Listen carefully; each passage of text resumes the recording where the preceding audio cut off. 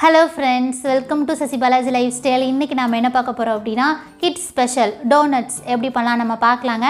Doughnuts பண்ணுறது ரொம்ப ரொம்ப கஷ்டம்னு எல்லோரும் நினச்சிட்டு இருக்காங்க. டோனட்ஸுக்கு கரெக்டான ரெசிபி இருந்துச்சு அப்படின்னா ரொம்ப சுலபமாக வீட்டிலேயே வந்து நம்ம வந்து ரெடி பண்ணிடலாம். டோனட்ஸ் எப்படி பண்ணணுங்கிறத ஸ்டெப் பை ஸ்டெப்பாக நான் வந்து ரொம்ப டீட்டெயிலாக சொல்லியிருக்கிறேன்.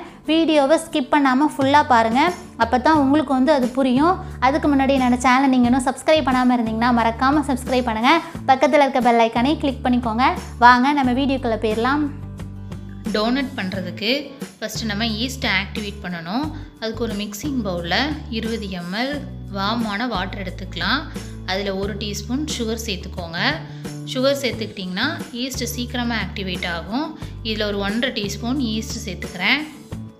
இது நல்லா மிக்ஸ் பண்ணி விட்டுட்டு ஒரு பத்து நிமிஷத்துக்கு அப்படியே விட்டுறலாம். ஈஸ்ட்டை நல்லா ஆக்டிவேட் ஆகட்டும். ஹாட் வாட்டராக இருந்துச்சு அப்படின்னா ஈஸ்ட் வந்து ஆக்டிவேட் ஆகாது. அதனால் வார்ம் வாட்டராக எடுத்துக்கோங்க. இப்போ ஒரு பத்து நிமிஷம் ஆயிருக்கு. ஈஸ்ட் பார்த்திங்கன்னா நல்லா ஆக்டிவேட் ஆகிருக்கு இப்போ மாவு பிணைஞ்சிடலாம். ஒரு மிக்சிங் பவுலில் ரெண்டு கப் வந்து மைதா மாவு எடுத்துருக்கிறேன். ஐநூறு கிராம் இது.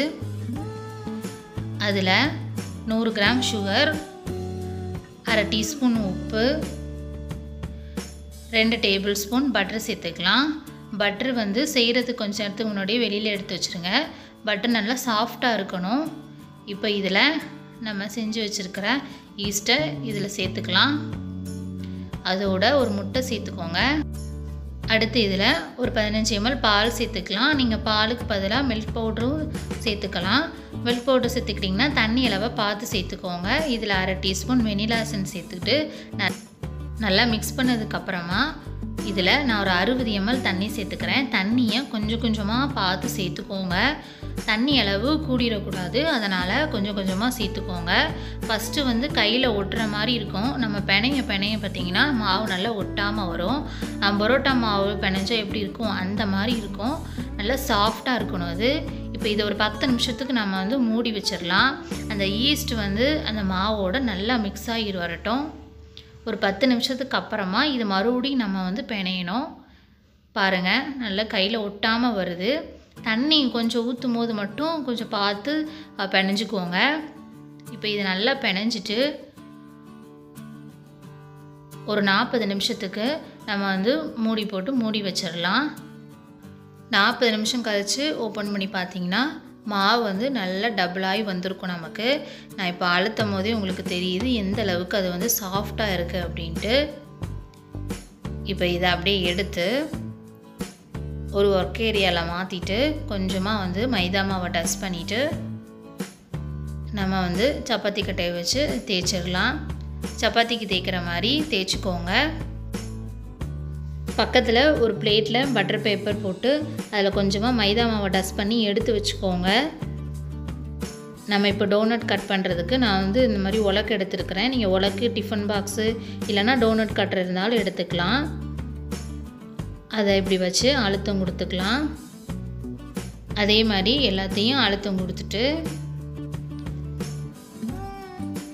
சென்டரில் பார்த்தீங்கன்னா நான் வந்து நோசல் எடுத்திருக்கிறேன். நீங்கள் வந்து சின்ன மூடி எடுத்துக்கலாம்.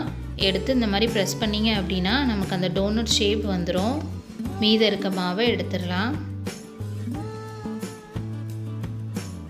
நம்ம இதை அப்படியே எடுத்து நம்ம பிளேட்டில் பட்டர் பேப்பர் போட்டு வச்சுருக்கோம் இல்லையா? அதில் எடுத்து வச்சுட்டு ஒரு நாற்பது நிமிஷத்துக்கு நம்ம வந்து அப்படியே வச்சிடணும். நல்லா இது வந்து டபுள் ஆகி வரும் நமக்கு.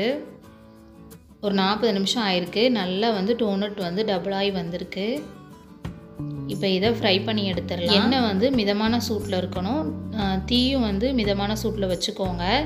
வச்சுட்டு நம்ம செஞ்சு வச்சுருக்கிற டோனட்டை இதில் ஃப்ரை பண்ணி எடுத்துடலாம். ஆயில் ரொம்ப சூடாக இருந்துச்சுன்னா உங்களுக்கு கலர் வந்துடும் உள்ளே வந்து வேகாது. அதனால் எண்ணெய் வந்து மிதமான சூடு இருக்கும்போது ஃப்ரை பண்ணி நம்ம வந்து எடுத்துக்கலாம். லைட் ப்ரௌன் கலர் ஆன உடனே நம்ம வந்து எடுத்துடணும். இப்போ நமக்கு டோனட் ரெடி ஆயிடுச்சு. இப்போ இதை எடுத்துடலாம். இதே மாதிரி எல்லாத்தையும் நம்ம வந்து பொறிச்சு எடுத்துக்கலாம். அடுத்ததாக நம்ம வந்து டபுள் பாயிலிங் மெத்தடில் சாக்லேட்டை வந்து மெல்ட் பண்ணிக்கலாம்.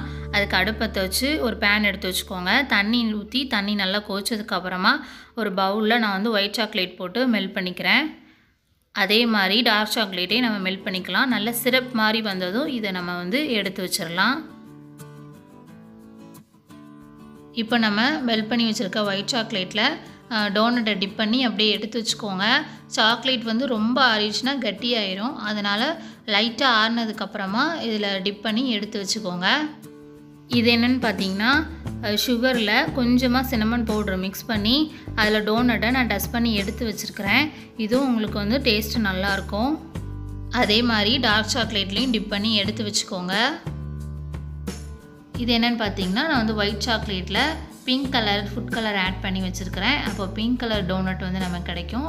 ரொம்ப பார்க்குறதுக்கு ரொம்ப அழகாக இருக்கும். இப்போ இதில் அப்படியே டோனட்டை டிப் பண்ணி நம்ம வந்து எடுத்து வச்சிடலாம். டோனட்டுக்கு மேலே கொஞ்சமாக நம்ம வந்து ஸ்ப்ரிங்கிள்ஸ் போட்டுடலாம். பார்க்குறதுக்கு நல்லா கலர்ஃபுல்லாக இருக்கும். குழந்தைங்களும் ரொம்ப விரும்பி சாப்பிடுவாங்க. இப்போ நமக்கு ரொம்பவும் சூப்பராக டோனட் ரெடி ஆயிடுச்சு. எனக்கு ரொம்ப பிடிச்சது பார்த்திங்கன்னா அந்த டார்க் சாக்லேட் டோனட். பார்க்குறதுக்கு பாருங்கள் கலர்ஃபுல்லாக ரொம்ப சூப்பராக இருக்குது இது எப்படி இருக்குன்னு நான் வந்து பிச்சு காமிக்கிறேன். உள்ளே ரொம்ப சூப்பராக இருக்குது டேஸ்ட்டும் ரொம்ப சூப்பராக இருந்துச்சு. இதே மாதிரி நீங்களும் வீட்டில் கண்டிப்பாக ட்ரை பண்ணி பாருங்கள் இன்னொரு இன்ட்ரெஸ்டிங்கான வீடியோட நான் உங்களை சந்திக்கிறேன். தேங்க்யூ ஃபார் வாட்சிங்